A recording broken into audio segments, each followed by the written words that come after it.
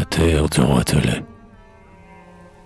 Mon frère le lion, tu rugis ta prière. Tu la hurles, molosse, en abois infini. Tu la beugles, taureau. Cheval, tu la hennis. Tu la belles, agneau. Chacun à sa manière. Au petit point du jour, saluant la lumière, comme moi, mieux que moi, petits oiseaux bénis, errant par la feuille au coucher dans vos nids, vous chantez du Seigneur la bonté coutumière. La colombe glaneuse et le moineau subtil, en rendant grâce, font la chasse au grain de mille.